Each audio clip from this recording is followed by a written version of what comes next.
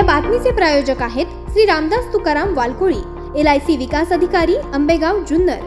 विमा प्रतिनिधी नेमणूक अभियान. सुखी आणि आनंदी आयुष्य जगण्यासाठी आजच एल आय सी एजंट व्हा. संपर्कासाठी क्रमांक एक्क्याण्णव बहात्तर शून्य आठ पन्नास सदुसष्ट. तसेच अठ्ठ्याऐंशी अठ्ठ्याऐंशी एकोणतीस पंचावन्न त्रेचाळीस. गेल्या काही दिवसांपासून कोंढव्यातील नागरिकांना लाइट नसल्यानं अंधारात राहावं लागतंय. पाण्याचाही त्रास सहन करावा लागतोय.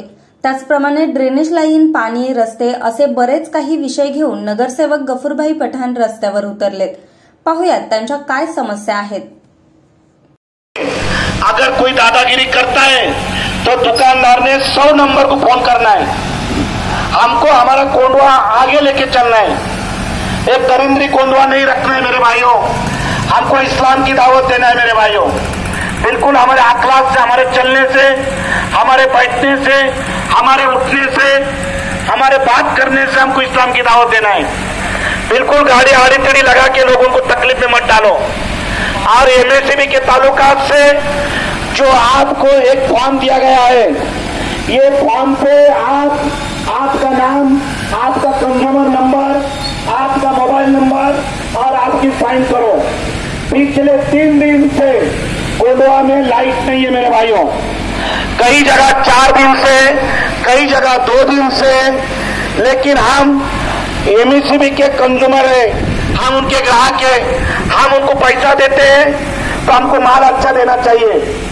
महाराष्ट्र इलेक्ट्रिसिटी बोर्ड का एसओपी है कि दो घंटे से ज़्यादा लाइट नहीं जाती मेरे भाइयों।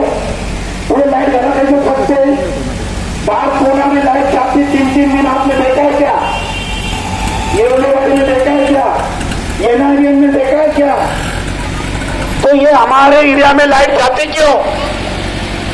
इन्होंने हमारे एरिया में हम लोग कंप्लेंट नहीं करते, हम अलर्ट नहीं रहते, इसके कारण ही हमको भुगतान है मेरे भाइयों बिल्कुल हमको जागना पड़ेगा, हमको आवाज़ उठाना पड़ेगी।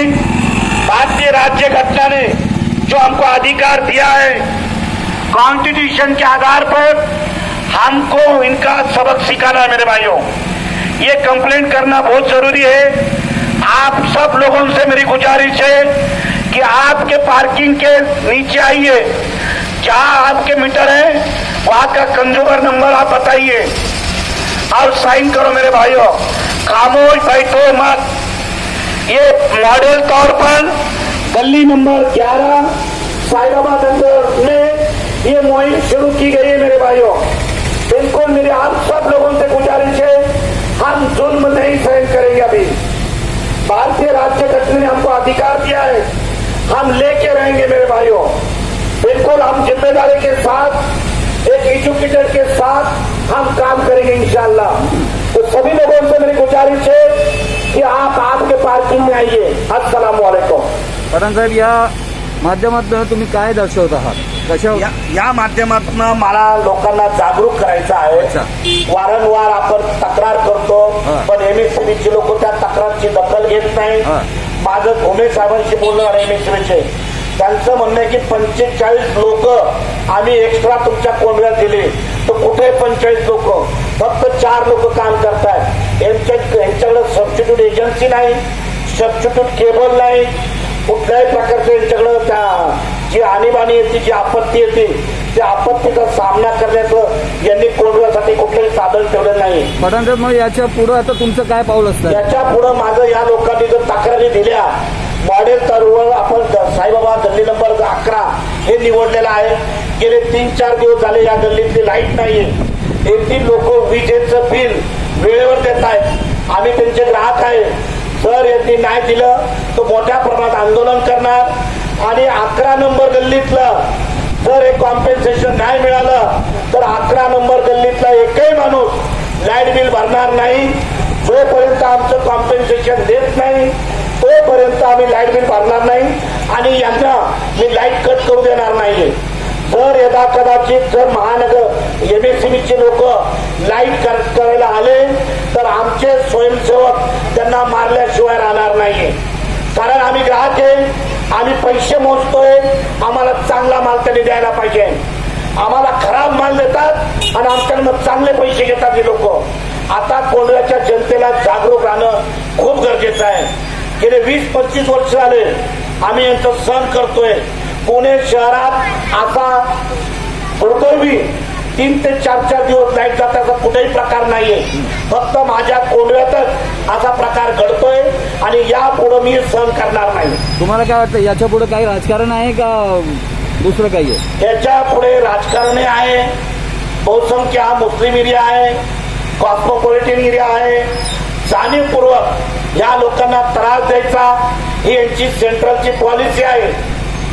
सेंट्रल गव्हर्नमेंटची पॉलिसी आहे की बिलकुल या एरियात ज्या ठिकाणी बहुसंख्य मुस्लिम आहे त्या ठिकाणी अशा प्रकारे त्रास द्यायचा नाही.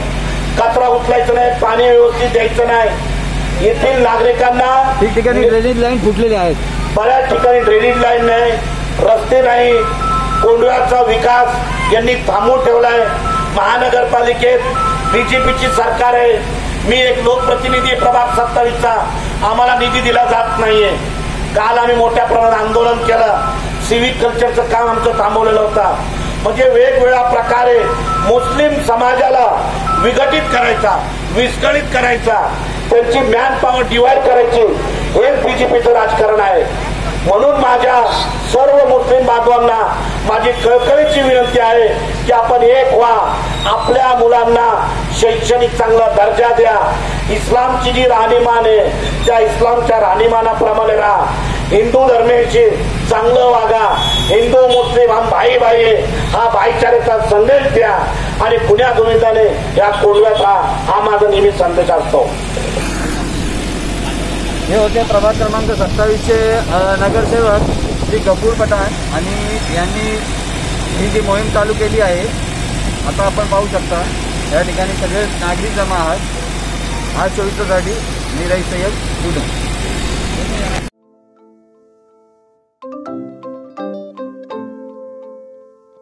नवनवीन आणि ताज्या घडामोडींसाठी आज चोवीस तास सबस्क्राईब करा.